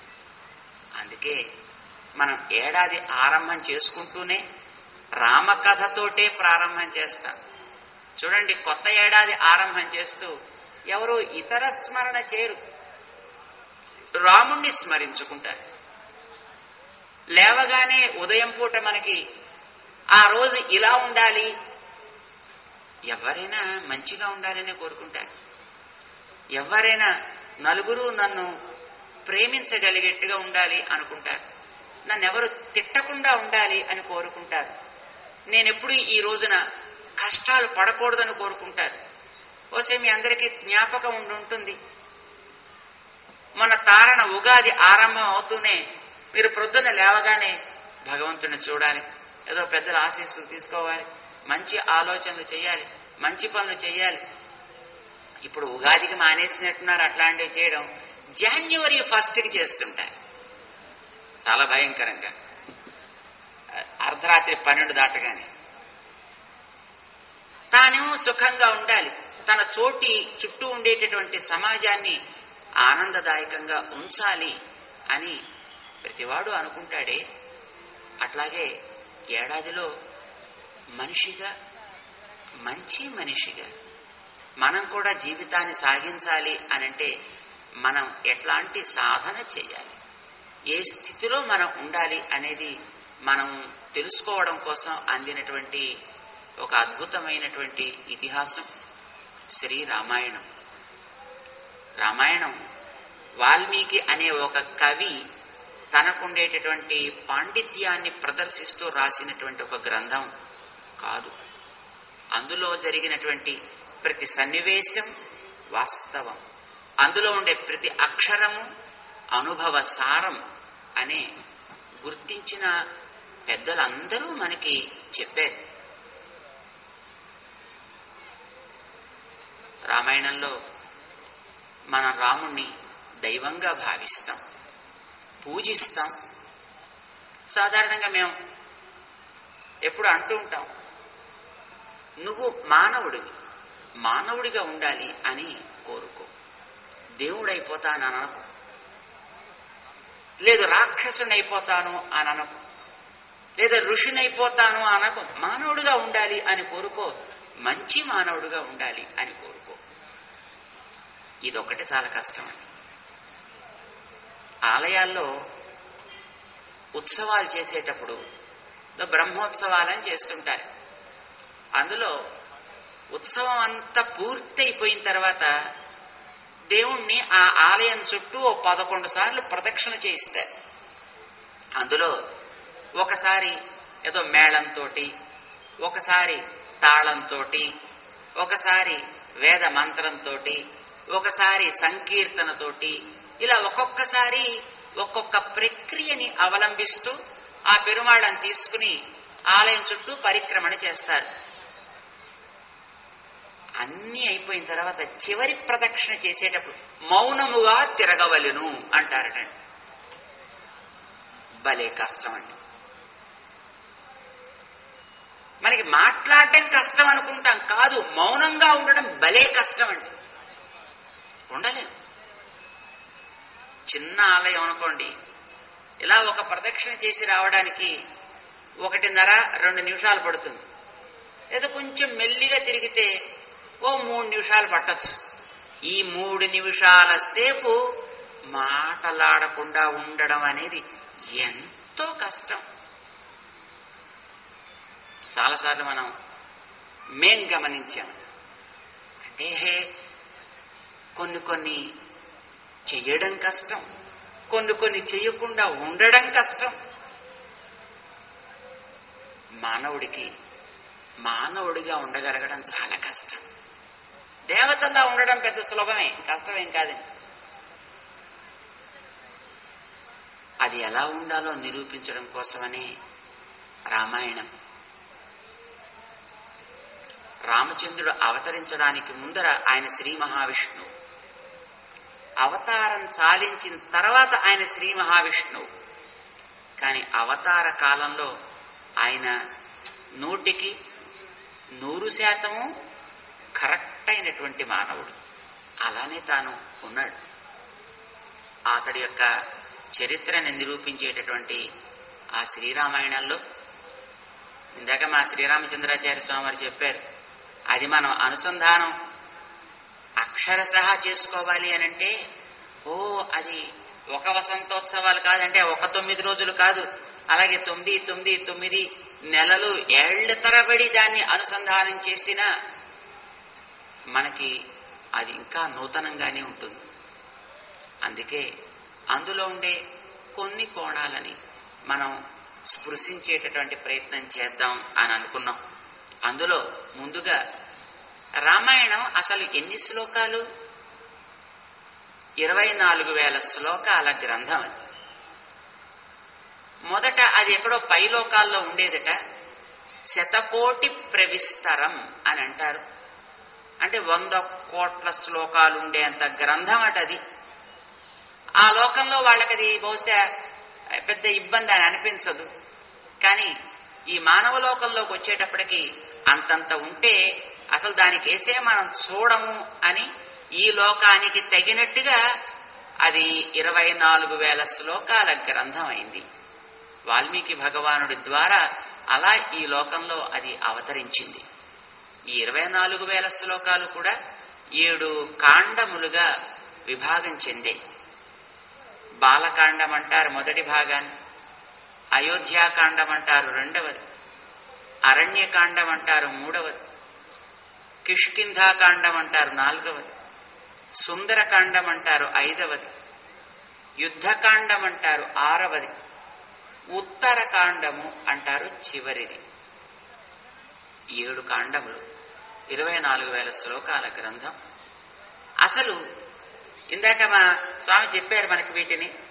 ఇందులోంచి ఇక్కడ దాకా ఇది ఒక అవధి ఇది ఒక అవధి ఇది ఒక అవధి అని ఆ మనకి తెలియచేసేటటువంటి చరిత ఒక్కొక్క చోట ఒక్కొక్క రకంగా ఉంటుంది. దాన్ని బట్టి బహుశా దానికి ఆ పేర్లు పెట్టి ఉండొచ్చు. కానీ ఆ కాండాలకి పేర్లు పెట్టడం భలే తమాషాగా ఆశ్చర్యకరంగా ఉంటాయి. మిగతా పేర్లన్నీ ఒక రకంగా ఉంటాయి. ఓ రెండు కాండాలకి మాత్రం పేర్లు తమాషాగా ఉంటాయి. రాముడు అయోధ్యలో ఉన్నప్పుడు అయోధ్యాపురాన్ని వర్ణించినప్పుడు ఉండేటటువంటి ఆ భాగాన్నంతటిని అయోధ్యాకాండము అని అంటారు. అరణ్యానికి రాముడు బయలుదేరి వెళ్ళి అరణ్యంలో సంచరిస్తూ ఉండగా జరిగినటువంటి చరితని చెప్పే భాగాన్ని అరణ్యకాండము అంటారు. కిష్కింధకి చేరి సుగ్రీవ సఖ్యం కలిగాక జరిగిన సన్నివేశాల్ని కిష్కింధాకాండము అంటారు. యుద్ధం జరిగే సన్నివేశాలన్నీ మనకి వర్ణించేది యుద్ధకాండము అంటారు. తిరిగి వచ్చేసిన తర్వాత ఇక ఏమేమి జరిగాయో అవన్నీ కూడా ఉత్తరకాండము అని అంటారు. మొదటిది మధ్యలోది ఇంకొక రెండు కాండాలు ఉన్నాయి హనుమంతుడు సముద్రాన్ని దాటి తిరిగి రాముడు దాకా వచ్చి సమాచారాన్ని అందించిన భాగాన్ని సుందరకాండము అన్నారు. అది ఒక అందమైన పేరు. చాలా మంది తర్వాత తర్వాత వచ్చిన వాళ్ళు ఏమిటి దీనికి సుందరం పేరేమిటి? దీనికి ఇంకా ఏమైనా కాండాలు పేరు పెడదామని లంకా కాండం అన్నారు కొందరు. ఏదో ఇంకో కాండం అన్నారు కొందరు. ఇలాంటి పేర్లు ఏవో పెట్టారు. కానీ మనకి సుందరకాండము అని మన మహర్షులు అంగీకరించినటువంటి ఒక అద్భుతమైనటువంటి పేరు. ఇక మొదటి కాండానికి బాలకాండము అని పేరు పెట్టారు. బాలకాండం అంటే మామూలుగా మనకి ఏమనిపిస్తుంది? బాలకాండం అంటే రాముడు పుట్టినప్పుడు బాలుడుగా ఉండేటప్పుడు జరిగినవన్నీ చెప్పేటటువంటి కాండం అండి. అందుకే బాలకాండం. నిజానికి మరి అందులో రాముడి యొక్క బాల్యాన్ని గురించి ఏమైనా చెప్పిందా? అంటే ఏమీ లేదు. ఈవేళ మనం ప్రొద్దున రామాయణం పారాయణ చేశాం. అందులో పద్దెనిమిదవ సర్గలోకి వచ్చేటప్పటికి ఆ పద్దెనిమిదవ సరుకులో కూడా కొన్ని శ్లోకాలు అయిపోయిన తర్వాత రామచంద్రుడు లక్ష్మణస్వామి శత్రుఘ్నుడు భరతుడు వీళ్ళు జన్మించిరి అని ప్రారంభించి వాళ్ళకి పదకొండవ రోజున నామకరణం చేశారు అని చెప్పి చాలా బుద్ధిమంతులు పిల్లలంతా చక్కగా వేద విద్యలని నేర్చుకున్నారు గుర్రాలు ఎక్కడ నేర్చుకున్నారు ఏనుగులు ఎక్కడ నేర్చారు రకరకాల శస్త్రాలన్నీ ప్రయోగించడం నేర్చారు. చక్కటి చదువు సంస్కారం కలిగిన పిల్లలు పెళ్ళి చేయాలి అని అనుకున్నాడు నాన్నగారు. అంటే పెళ్ళి చెయ్యాలనుకున్నా అంటే ఎక్కడికి వచ్చేసాడు అప్పుడే పుట్టి పదకొండవ రోజు నామకరణం చేశారు అని చెబుతూ ఒక నాలుగైదు శ్లోకాలు దాటకుండానే అప్పుడే ఇతనికి ఎలా వివాహం చెయ్యాలి అని వాళ్ళ తండ్రి గారు ఆలోచించడం ప్రారంభించారు. ఇంతలో విశ్వామిత్రుడు వచ్చెను అని చెప్పేశాడు ఆయన సరే వచ్చిన తర్వాత ఏం జరిగిందో మనందరికీ తెలుసును.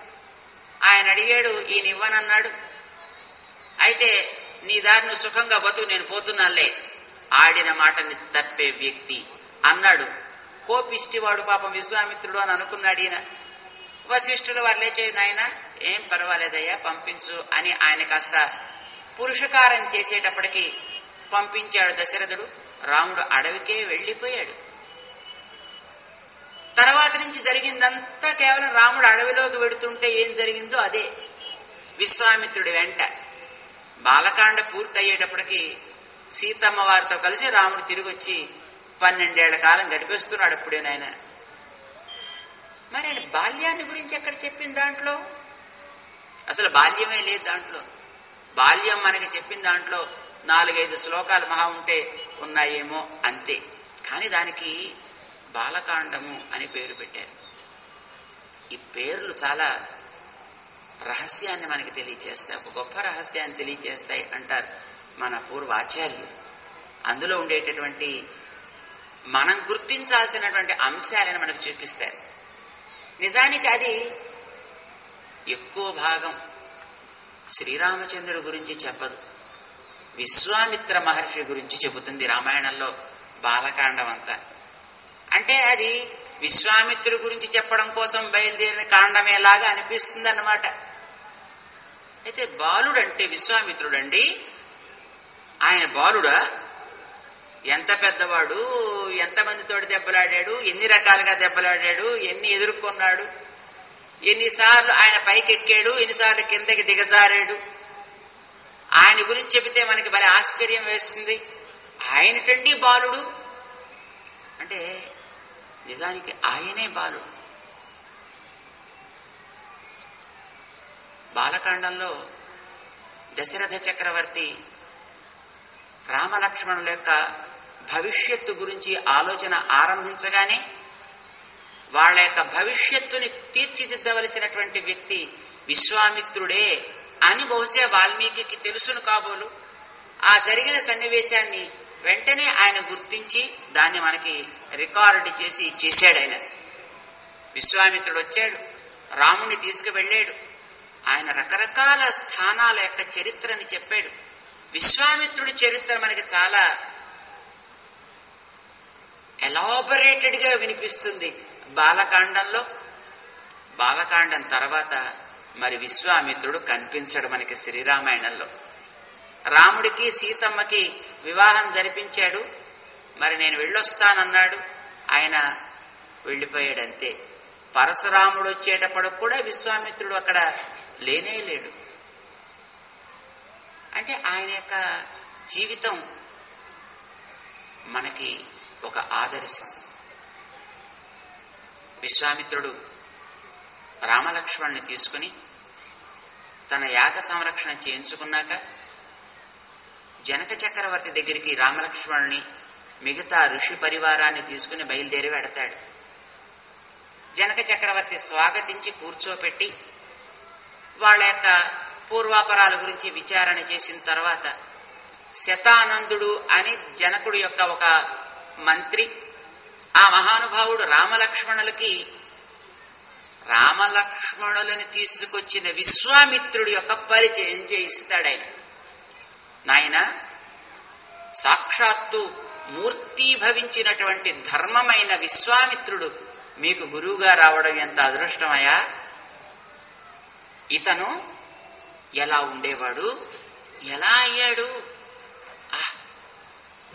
ఇంత గొప్పగా లోకంలో తనని తాను సంస్కరించుకున్నటువంటి వ్యక్తి మరొకడు లేరే లేడు అని విశ్వామిత్రుడు ఒక చరిత్రనంతటినీ కూడా ఆ పిల్లలిద్దరిని కూర్చోబెట్టి రామలక్ష్మణులు చిన్న చిన్న పిల్లలు వాళ్ళకి జనక చక్రవర్తికి మిగతా అక్కడ ఉండేటటువంటి ఆ సభాసదులందరికీ కూడా అద్భుతంగా వర్ణించి చెప్పాడు. విశ్వామిత్రుడి కథ వెనకాతల చూస్తే అంత ఆనందదాయకంగా ఉండదు. అది అంత అందంగానూ ఉండదు. ఎందుకంటే ఆయన మొదట ఒక గొప్ప చక్రవర్తి. ఇక్ష్వాకు వంశానికే చెందిన మహనీయుడు ఆయన కూడాను బాగా పరిపాలన చేస్తూ ఉండేవాడు. విశ్వామిత్రుడు ఒకనాడు తన పరివారంతో అడవికి బయలుదేరి వశిష్ఠాశ్రమాన్ని సందర్శించాడు. వాళ్ళ కులగురువు ఆ మహానుభావుడు. వశిష్ఠుడు కూర్చోబెట్టి రాజ్యాన్ని ఆయన బాగా పరిపాలించుకుంటున్నావా? కులాసాగా ఉన్నావా? ప్రజలందరినీ జాగ్రత్తగా చూసుకుంటున్నావా? కుశల ప్రశ్నలు వేశాడు. ఆయన చేస్తున్న పాలనని విన్నాడు. చెప్పాల్సినటువంటి సలహాలని సూచనలని చేశాడు.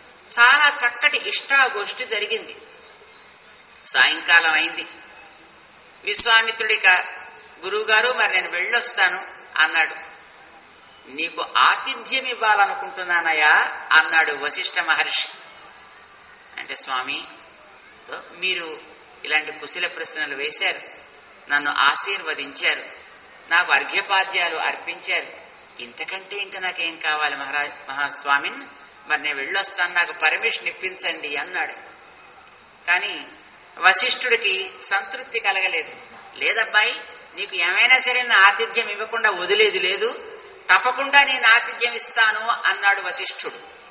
అంటే ఎంత గొప్ప వశిష్ఠుడైనా తన దగ్గరుండే సంపదలు ఏమిటో చూపించుకోవాలని ఆయనకు కూడా కొంచెం మనస్సులో ఒక రకమైనటువంటి కోరిక కలిగినట్టుంది. లేదయ్యా ఏమైనా నీకు ఆతిథ్యం ఇవ్వాల్సిందే అన్నాడు. అనడమేమిటి తన దగ్గర ఉండేటటువంటి ఒక చక్కటి శబళ ఒక మంచి గోవు దాన్ని పిలిపించాడు. అమ్మాయి మనకు అతిథి వచ్చాడు రాజు ఈయన్ని మనం ఆదరించాల్సినటువంటి బాధ్యత ఉంది ఈయనతో పాటు పరివారం వచ్చింది ఏవేవి వారికి అవసరమో వాటన్నిటినీ చూ- చక్కగా తయారు చేసి ఇద్దువుగాని అని అన్నాడు ఆయన. అనడమే తడవుగా ఆ గోవు వారికి కావలసినటువంటి ఆహార పదార్థాలు ఏవేవి ఎలా ఎలా అవసరమో అన్నిటినీ తయారు చేసి ఇచ్చింది. విశ్వామిత్రుడు పాపం చాలా మంచివాడే. గురువు గారి మీద చాలా గౌరవం ఉన్నవాడే భక్తి కలిగినవాడే. కానీ ఇన్ని రకాలుగా ఇంత ఆదరణ చూసేటప్పటికీ ఇన్నిటినీ ఒక ఆవు ఇచ్చింది అని చూసేటప్పటికీ ఆయనకి కొంచెం మనస్సు మారింది. స్వామిన్ ఏ ఏ జాతిలో ఏదేది గొప్పదో దాన్ని రత్నం అంటారు. రత్నం కలిగిన వాడు రాజు అవుతాడు రత్నాలు రాజుల దగ్గరే ఉండాలి. రత్నహారీ చ పార్థివ. ఈ గోవులన్నిటిలోనూ ఇది చాలా రత్నం లాంటిది. నేను పరిపాలకుండి కనుక నా దగ్గర ఉండాలి ఈ రత్నం? నాకు పంపించండి దీన్ని. అంటే అయ్యయ్యో ఇది నాకు కుదురుతుందయ్యా? నాకు సర్వస్వము అదే. నేను చేసే హవ్యానికి అదే. నేను చేసే కవ్యానికి అదే. నేను చేసే హోమానికి అదే. నాకు చేసే ప్రతి కార్యానికి అదే. అదే నా సర్వస్వం. దాన్ని నేను ఎలా వదులుతాను? అన్నాడు ఆయన వదులుతాను విదులుతాను మరేం చేస్తానే ఇది నాకు ఇచ్చేసి తీరాల్సిందే. నాకు మీరు ఎందుకు చూపించారు? అంచేత దీన్ని నాకు ఇచ్చేయండి నేను దీన్ని తీసుకెళ్ళిపోతాను అన్నాడు. ఆయన అప్పటికి కానీ పాపం వశిష్ఠ మహర్షికి అర్థం కాలే. అనవసరంగా ఎందుకు చూపించాను రా దీన్ని ఈయనకి? చూపించకుండా ఉన్నా బాగుండేది హాయిగా ఆయన నేను మంచిగా మర్యాదగా వెళ్ళిపోతానంటే సరిపోయి ఉండేది. అనవసరంగా మన సంపదలేవో చూపించాలి అనే ఒక మనస్తత్వం ఉండడం చేత కోరి కోరి ప్రమాదం తెచ్చుకున్నాను అని అప్పటికి గుర్తించాడు ఆ మహర్షి. కానీ అప్పటికే చేయి దాటిపోయింది. విశ్వామిత్రుడికి ఆ వస్తువు తనది చేసుకోవాలనే కలిగిన కాంక్ష గురువు గారిని కూడా ఎదురు తిరిగి తిరస్కరించేట్టు చేసింది. ఎలాగైనా సరే దీన్ని బలవంతంగా తీసుకుపోతాను అని తనకుండేటటువంటి కండబలంతో అండబలంతో దాన్ని తీసుకువెళ్ళడం ప్రారంభించాడు. దీనంగా చూసింది ఆ గోవు వశిష్ఠుడి కేసి ఏమయ్యా నన్ను వదిలిపెట్టేస్తున్నావా? నన్ను ఇలా పంపించేస్తున్నావా? అని అడిగింది. అంటే కాదు కాదు నేను చేతకాని వాణ్ణి. ఆయన తనకుండేటటువంటి ఈ కంఠబలాన్ని చూపించి దాంతో నిన్ను తీసుకెళ్ళిపోతుంటే నేనేం చేయగలుగుతాను సామాన్యుణ్ణి? అన్నాడు మహనీయుడు. నీకుండేటటువంటి దివ్యమైన బలం ఉందయ్యా. అది నేనే నీ దివ్య బలాన్ని నన్ను దాన్ని ఉపయోగించమంటావా? అని అడిగింది ఆ ధేను. అలాగే అన్నాడు ఆయన. ఒక హుంకరించింది. ఆ హుంకారంతో పాటు తన శరీరంలో ఉండే ఒక్కొక్క ఒక్కొక్క ఆ కన్నాలుంటాయి కదా రోమ కూపాలు. అందులోంచి అందులోంచి జనాన్ని పుట్టించింది రకరకాలైనటువంటి జాతులు. మ్లేచ్చులని యవనులని ఇప్పుడు ఈవేళ మనం రకరకాల పేర్లతోటి పిలుస్తుంటామే. ఇలాంటి వారందరినీ కూడా తనలోంచి తీసుకొచ్చి తన దేహంలోంచి పట్టుకొచ్చింది. వారందరూ కూడా విశ్వామిత్రుణ్ణి ఆయనతో పాటు వచ్చినటువంటి సైన్యాన్ని తరిమి తరిమి కొట్టారు. వీళ్ళ బలం ఎందుకు పనికి రాకుండా పోయింది? ఆ ధేనువులోంచి వచ్చినటువంటి ఆ వ్యక్తుల బలం ముందర. విశ్వామిత్రుడికి అహంకారం దెబ్బతింది. తోక తొక్కిన పాములాగా ఆయన లేచాడు. ఏమైనా సరే సాధిస్తానన్నాడు. తన సైన్యాన్ని తీసుకొచ్చాడు. ఏం చేయలేకపోయాడు. అవమాన భారాన్ని అంతకంటే భరించలేకపోయాడు. తపస్సు చేసి సాధిస్తాను అని ఆయన వెళ్ళి పరమశివుణ్ణి తపస్సు చేసి ప్రసన్నం చేసుకుని అస్త్ర శస్త్ర విద్య ఎవరెవరి దగ్గర ఎక్కడెక్కడ ఎంతెంత ఉందో దాని ఉపాంగాలతో పాటు మొత్తం అంతా నాకు ఇచ్చేయి అని అడిగాడు ఆయన. అలాగే అన్నాడు ఆ మహనీయుడు. అవన్నీ తీసుకొచ్చి అలాగే అన్నాడు ఆ మహనీయుడు. అవన్నీ తీసుకొచ్చి విశ్వామిత్రుడు వశిష్ఠ మహర్షిని కంటికి కనిపించకుండా చేసేద్దాం అని అనుకున్నాడు ఆయన. ప్రయోగించాడు ఆయన మీదకి. కానీ ఆ మహానుభావుడికి ఉండే తపశ్శక్తి చేత తన దండాన్ని అలా ముందర పెడితే ఎన్నెన్ని అస్త్రాలు వేసినా ఎన్నెన్ని శస్త్రాలు ప్రయోగించినా అన్నిటినీ ఆ బ్రహ్మదండం ఒకటిని స్వాహ స్వాహ స్వాహ మొత్తం మింగేయడం ప్రారంభించింది. చివరికి బ్రహ్మాస్త్రాన్ని వేసినా ఆ బ్రహ్మాస్త్రాన్ని కూడా ఆ దండం తనలోకి స్వీకరించేసింది. ఏం చెయ్యాలో తోచలేదు. దేవతలంతా దిగొచ్చారు. విశ్వామిత్రుడి యొక్క ఆ పౌరుషానికి నువ్వు కూడా ఇట్లా చూపిస్తే ఎట్లాగయ్యా అని ప్రార్థించి వశిష్ఠుణ్ణి వాటిని విత్డ్రా చేయించారు. వెనక్కి తీసుకునేట్టు చేశారు విశ్వామిత్రుడికి అవమానం కలిగింది. నిజమే ఛీ ఎందుకు ఈ కండబలం ఆయన బుద్ధి బలం ముందర ఆయనకుండేటటువంటి ఆ దివ్యమైనటువంటి బలం ముందర నా కండబలం ఎందుకు పనికి రాకుండా పోయిందే? నేను కూడా అట్లాంటి బలాన్ని సాధించగలిగేవాణ్ణి కావాలి అని ఒక పట్టుదలతోటి ఒక పోటీ మనస్తత్వంతో దక్షిణ దిక్కుకు వెళ్ళాడు. తపస్సు ప్రారంభించాడు. పదివేల సంవత్సరాల కాలం తపస్సు చేశాడు. ఒకటి రెండు కాదు. చాలా గొప్ప శక్తి. కుటుంబీకుడిగా వెళ్ళాడే సపత్నీకుడిగా వెళ్ళాడు. పదివేల సంవత్సరాల తపస్సులో చాలా శక్తులు సాధించాడైన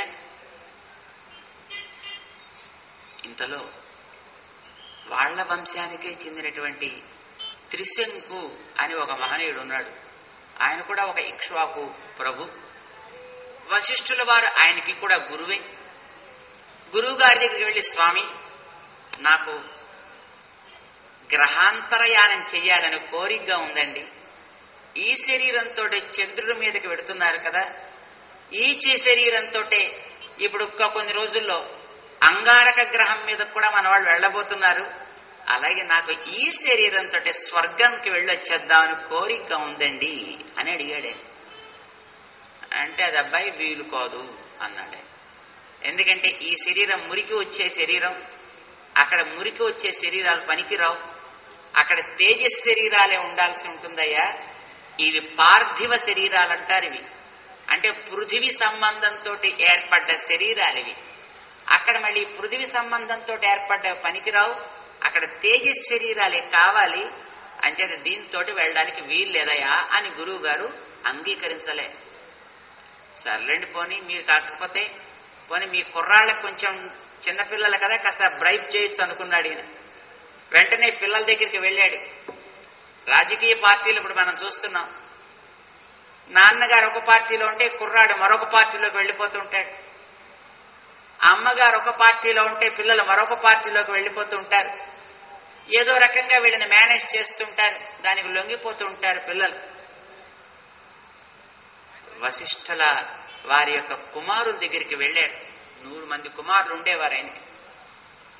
ఈ త్రిశంకు వాళ్ళ దగ్గరికి వెళ్ళి అయ్యా మీ నాన్నగారిని నేను అడిగాను. ఆయన ఒప్పుకోలేదు. కానీ నాకు గురువులు కదా మీరు. అసలు మీరే కదా నాకు దైవాలు. నేను మిమ్మల్ని కాదు నేను ఇంకెక్కడికి వెళ్ళగలను కనుక? కనుక నాకు ఈ బొందితోటే స్వర్గానికి వెళ్ళే ఛాన్స్ కలిగించండి. దానికి కావలసిన చేసి పెట్టండి. నేను మిమ్మల్నే ఆశ్రయిస్తున్నాను అన్నాడు. వాళ్ళకి చాలా కష్టం కలిగింది. మా తండ్రి గారు ఆయన సాక్షాత్ భగవత్ స్వరూపులు. ఆయన కాదన్న దాన్ని మేమెట్లా చేస్తామయా ఆయన తగదు అని చెప్పిన దాన్ని చేసేటటువంటి సంస్కారం మాకు లేదు. ఆయనకి కోపం వచ్చింది. వీళ్ళని దండించాలనుకున్నాడు. వీళ్ళు అతన్ని ఇలాంటి పనులు నువ్వు చేస్తున్నందుకు నువ్వు పతితుడు అవుతావు సుమా అని అతన్ని శపించారు. అతను పాపం తన దివ్యమైనటువంటి స్వరూపాన్ని కాస్త పోగొట్టుకుని నల్లటి శరీరం ఎందుకు పనికిరానటువంటి ఆకృతిలో తయారయ్యాడు భయంకరంగా అయిపోయాడు శాప ప్రభావం చేత. ఆలోచించాడు ఏం చేయాలి చెయ్యాలి వశిష్ఠుడంటే పడనివాడు విశ్వామిత్రుడు కనుక మెల్లిగా ఆయన దగ్గర సఖ్యం చేసుకుందాం అని అనుకున్నాడు. వెళ్ళాడు ఆయన దగ్గరికి వెళ్ళి అయ్యా నేను విశ్వామిత్రుడిని అడిగాను వశిష్ఠుడిని అడిగాను ఆయన కొడుకుల్ని అడిగాను వాళ్ళెవ్వరూ చేయనన్నారు. ఇక నువ్వేనా చేయకపోతే నాకు గతి ఏమిటి? నేను బతికి ఎందుకయా బొందితో స్వర్గానికి పంపించు. వశిష్ఠుడు పంపించనన్నాడా? సరే అయితే నేను పంపిస్తా. విశ్వామిత్రుని యొక్క టెండెన్సీ అది. ఎక్కడైనా మంచి వస్తువు కనిపిస్తే నాది చేసుకోవాలి అనే కోరిక.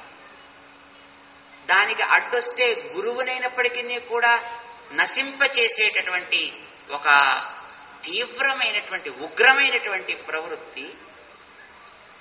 తనకి తగనివాడు ఏదో చేస్తాను అంటే దాన్ని పాడు చేయడం.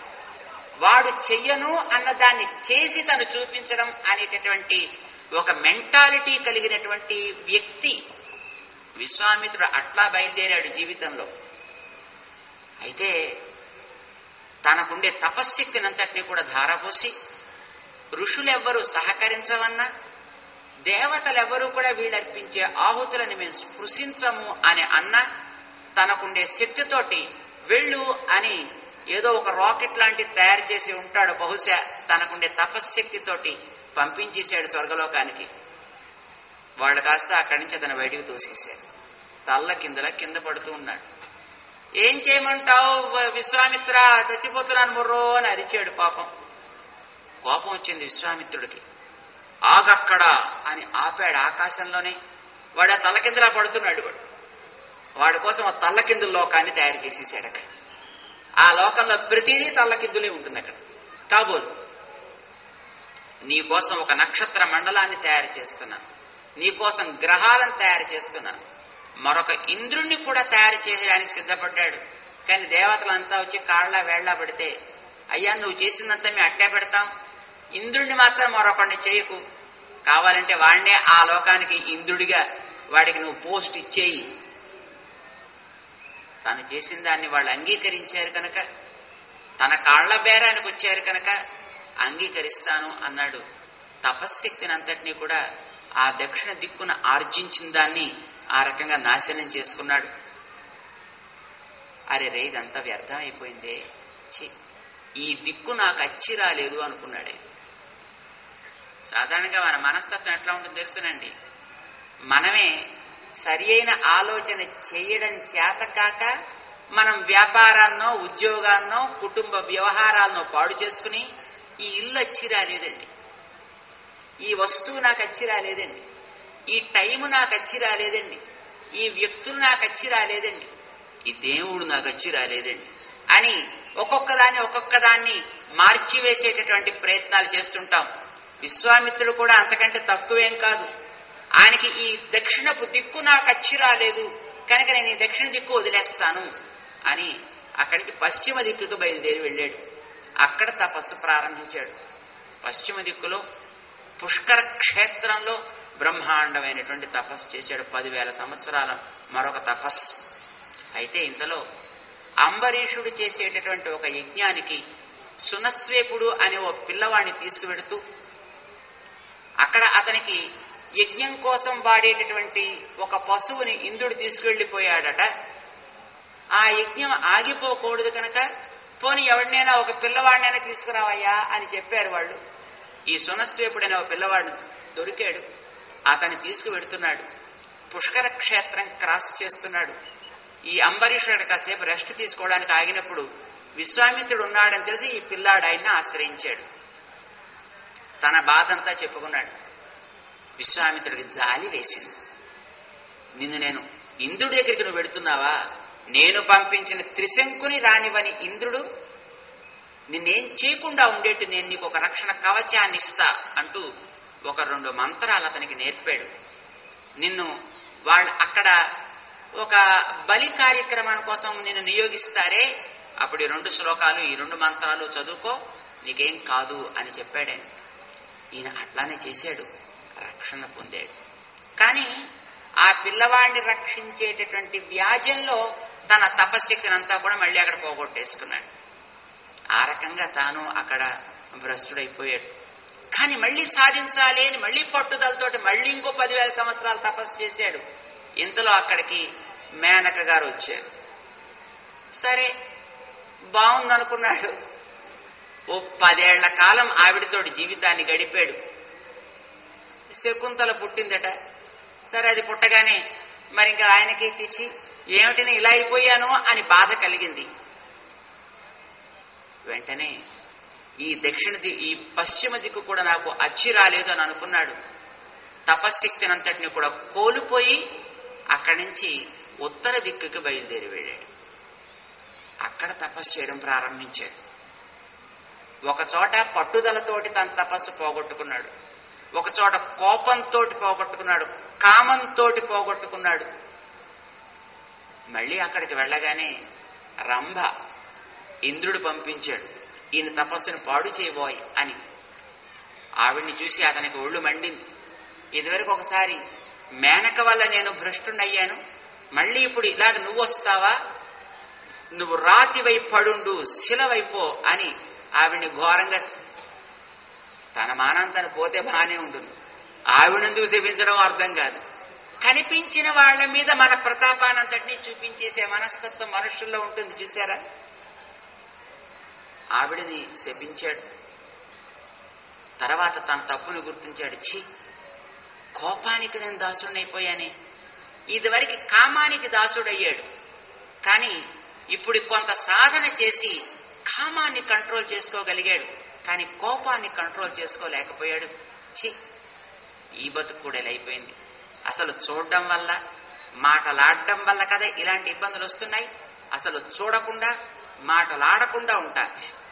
తిండి తినడం వల్ల కదా ఇబ్బందులు వస్తున్నాయి? అసలు తిండి తినడం మానేస్తా. గాలిని ఆహారంగా స్వీకరిస్తా. శరీర సుఖాలు చూసుకోవడం వల్ల కదా ఈ ప్రాబ్లమ్స్ వస్తున్నాయి? అసలు ఈ శరీరాన్ని ఎండకి ఎండిస్తా. గాలికి ఆరేట్టు చేస్తా.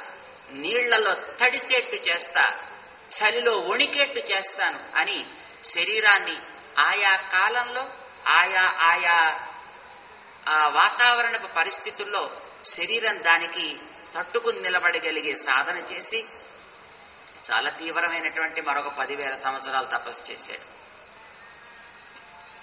ఆయన ఈ దిక్కు కూడా మనకి అచ్చిరాదు కాబోలు. ఇక్కడి నుంచి మళ్ళీ తూర్పు దిక్కుకు పోదామని అనుకున్నాడు. తూర్పు దిక్కుకు వచ్చాడు అక్కడికి దేవతలంతా ఉచ్చారణ చేసిన తపస్సు చూసి నాయనా చాలా గొప్ప తపస్సు చేశావయ్యా మహానుభావ. నువ్వు బ్రహ్మర్షిగా అవుతావు. అంతకుముందు ఈయన దేవర్షి అన్నారు ఒకసారి బ్రహ్మగారు వచ్చి ఛే అన్నాడని. దాన్ని అంగీకరించలేదు. మరొకసారి వాళ్ళే వచ్చి నువ్వు ఋషి అవుతావు అన్నారు. అంగీకరించలే. మహర్షిగా నీకు టైటిల్ ఇస్తామన్నారు. నాకు అక్కర్లేదు పొమ్మన్నాడు.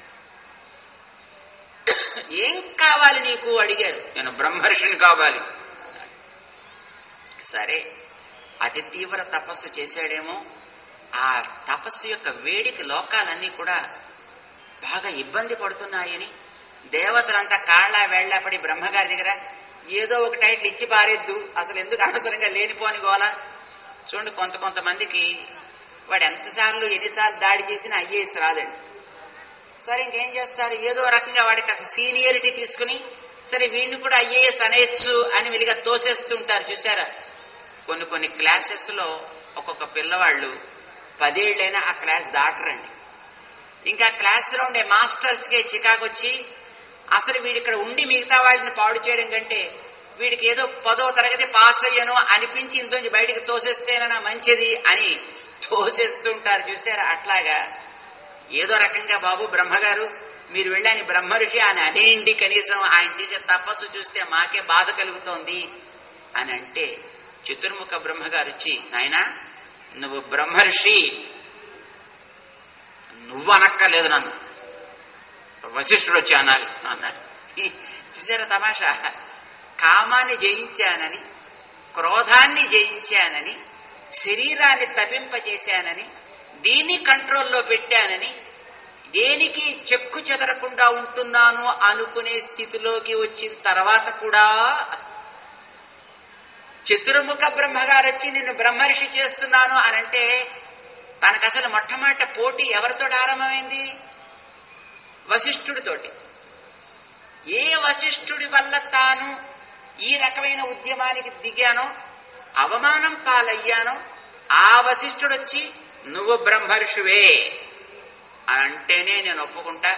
బ్రహ్మగారు మీరంటే నాకు అక్కర్లేదన్నాడే. అసలు యూనివర్సిటీలో సర్టిఫికేట్ శాంక్షన్ చేయాల్సింది బ్రహ్మగారే. కానీ బ్రహ్మ సర్టిఫికేట్ కూడా తనకు అక్కర్లేదట. తనకి పోటీదారైనటువంటి వశిష్ఠుడు మాత్రమే తనని ఆ పేరుతోటి రికగ్నైజ్ చేస్తేనే తాను అంగీకరిస్తానన్నాడు. అంత వయస్సు వచ్చి అంత తపస్సు చేసిన తర్వాత కూడా మనస్తత్వం ఎట్లాంటిది? మనిషిలో ఉండేటటువంటి బలహీనతలు ఎట్లా ఉంటాయి? విశ్వామిత్రుడంత సాధన చేసినా దాన్ని ఆయన అతిక్రమించలేకపోయాడు. అప్పటికి దాని వశానికే లోబడి ఉండిపోయాడు ఆయన.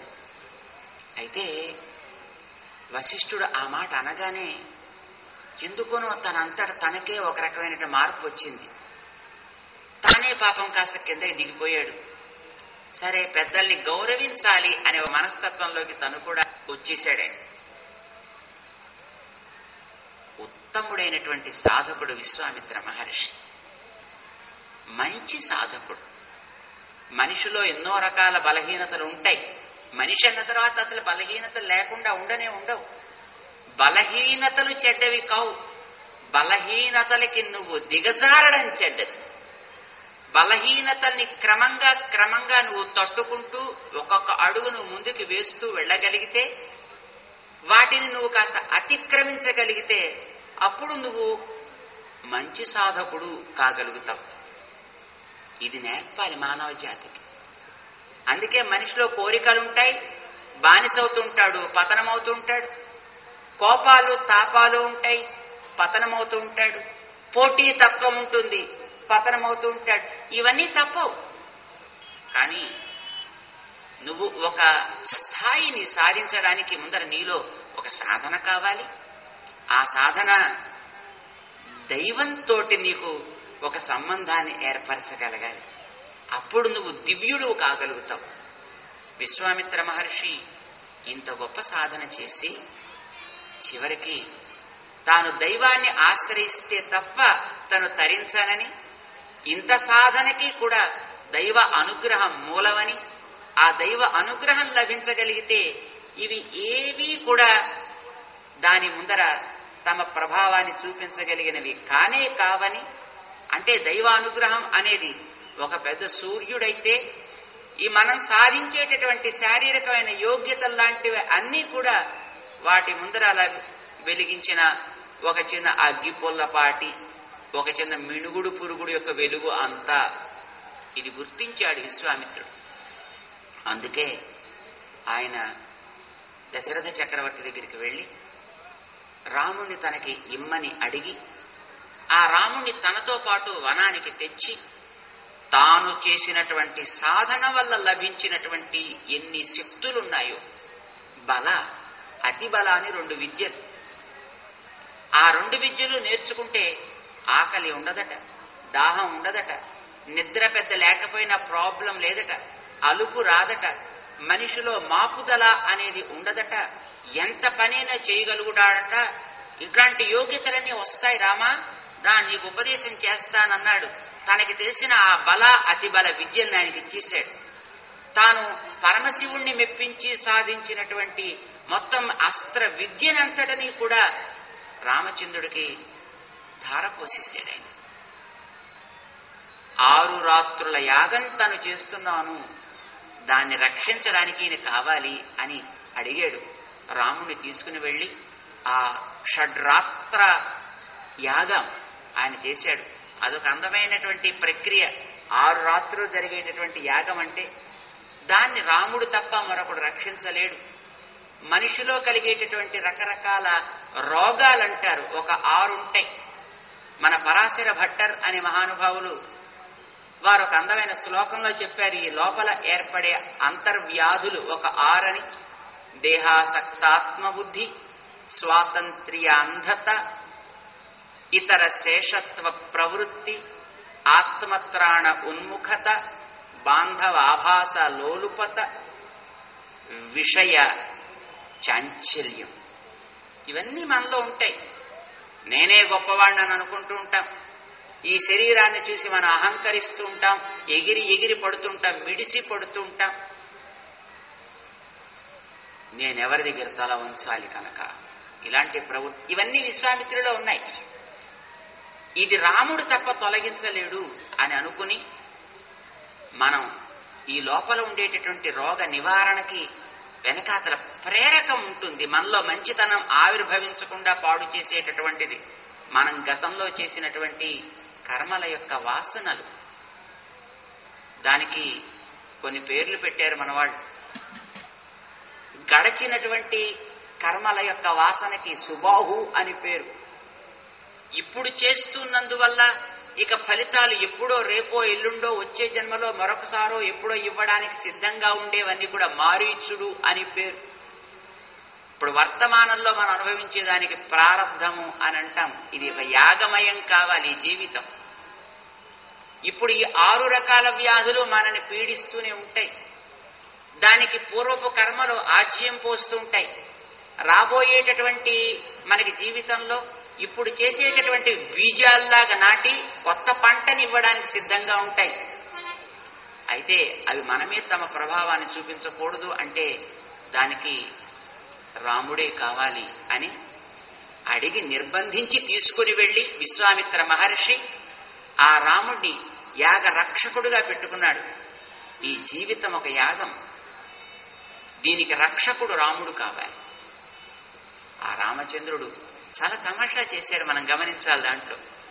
మొట్టమొదటి ఒక ఆగ్నేయాస్త్రం మానవాస్త్రం వాయవ్యాస్త్రం అని మూడు అస్త్రాలు ప్రయోగించాడు.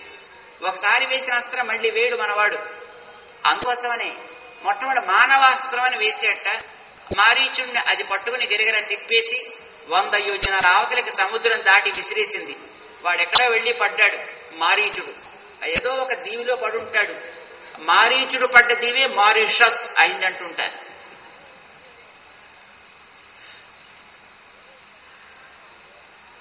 వాడు కూడా మారీచ మహర్షి అయిపోయాడు ఆ వాడి నుంచి. ఎందుకంటే తిన్న దెబ్బ వల్ల ఎంత గట్టిగా కొట్టాడో పరిచయం కలిగి రామ రామ రామ రామ మంత్రం తప్ప మరొకటి వాడికి మనస్సుకి ఇంకా నిలవకుండా అయిపోయింది. వాడో పెద్ద మహర్షి. కానీ సుబాహు మీద అగ్ని అస్త్రాన్ని ప్రయోగించాడు. ఆయన మాడిపోయాడు. మిగతా ఉండే వాళ్ళ మీద వాయవ్యాస్త్రాన్ని ప్రయోగించాడు. వాడు దూరంగా చల్లా చెదరైపోయారు యాగం పూర్తయింది. మనలో ఉండేటటువంటి ప్రాచీన కర్మలు మనం ఎంత సాధన చేసినా తమ ప్రభావాన్ని చూపించక మానవు. అందుకే భగవంతుణ్ణి ఆశ్రయిస్తే ఆ భగవంతుడు మనకి ఎలా ఏమిటి అనుభవించాలి అనేదాన్ని ఆయన అస్త్రం వేస్తాడు. మన ప్రాచీన కర్మల్ని తొలగిస్తాడు. ఇప్పుడు ఉండేటువంటి కర్మల్ని తాను సంస్కరిస్తాడు. రాబోయే కర్మలు అంటకుండా చేస్తాడు మారీచుడిని దూరంగా పారవిసిరేసినట్టుగా. ఆ తర్వాత విశ్వామిత్రుడు తన శిష్యులుగా చేరినటువంటి ఆ ఇద్దరిని తీసుకుని వెళ్ళి మిథిలా నగరానికి సీతమ్మతోటి రామచంద్రుడిని చేర్చి రాముణ్ణి ఒంటరిగా కాదు మళ్ళీ తను సేవించాల్సింది. జంటగా సేవించాలి కనుక అమ్మతో పాటు చేర్చి సేవించుకున్నాడు.